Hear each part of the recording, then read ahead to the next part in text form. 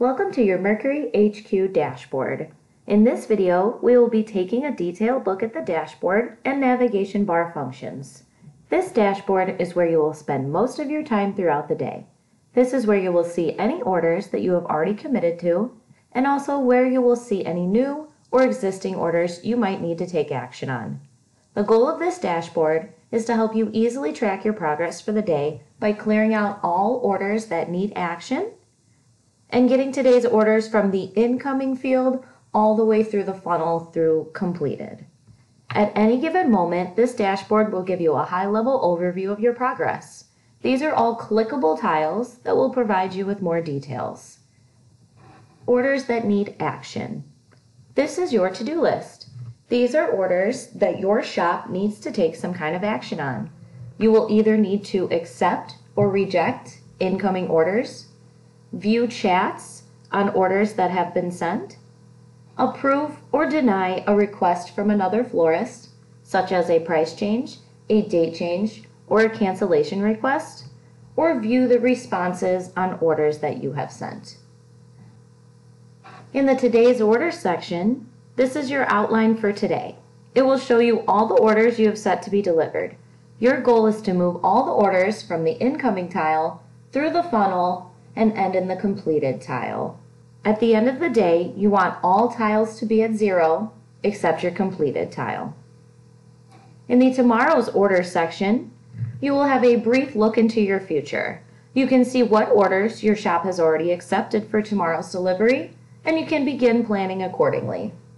On the right-hand side is the calendar. This is a high-level overview of what your orders look like for the week. It will tell you how many orders your shop has accepted, as well as how many have already been delivered. The delivery truck icon will turn red if your shop has missed a delivery confirmation for a prior date. If you click on the truck, it will take you to that order or list of orders that are missing the confirmation. Below that is our FTD notification section. This is where you will get information from FTD in the form of general messages and slimcasts. Now we will take a look at the left-hand navigation bar. The first section will always bring you back to your home dashboard. The Create Orders button, when clicked on, will take you to a screen where you can place outgoing orders for your shop.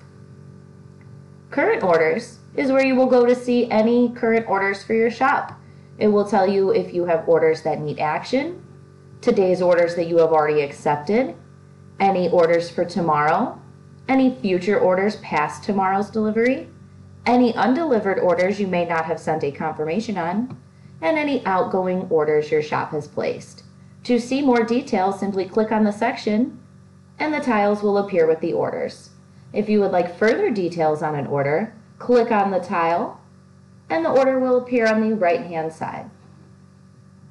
Next, we will move on to the completed orders section. In the completed orders section, you can see the orders that your shop has already completed.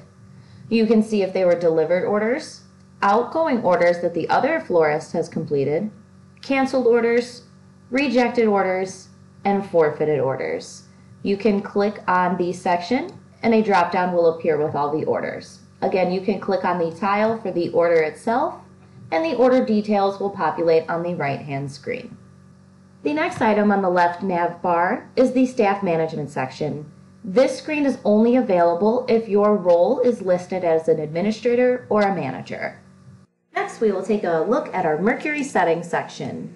In the Mercury settings section, you can see if your shop is online, as well as schedule a future suspension. To schedule a suspension, Simply click on the pencil icon and a drop down will appear. You will fill in the start date of your suspension, the start time, the end date, and the end time of your suspension. Make sure to hit the schedule suspension button for your changes to take effect. This section is also where you can list florist partner preferences. You can mark other shops in the FTD network as first choice florist, preferred florist, or do not use florist. To assign a shop to one of these preferences, hit Search Florist Partners. On the right-hand side, you will see a search bar where you can type in the shop code of the shop you would like to search. Once you have searched for your shop, you will see the shop name appear and you will click on that tile. From there you can assign the partner preference. Simply click the drop down and choose the choice you would like to make. You will also see the contact information for the shop as well as any notes they may have left for you. Once you are done completing these changes, hit submit. That florist will then populate on the left-hand side in the appropriate field you have assigned them to. You can also use our interactive map to see where that shop is. The next button on the navigation bar is our shop settings section. This is another section that is only available for administrators and managers. If you do not see it, your account does not have the proper permissions to access it. FTD also offers a delivery service.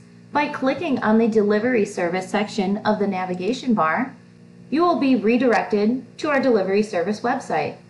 From here, you can log in with your credentials, sign up for a new account, learn more about the FTD delivery service, and even watch our introductional video. The last setting on the left-hand navigation bar is our help section. By clicking on the help section, you can see any training videos we have released, submit your feedback, view our terms and conditions, as well as our privacy policy, and check the release notes for any new releases on Mercury HQ. After viewing any of these sections, you should always return to your home dashboard.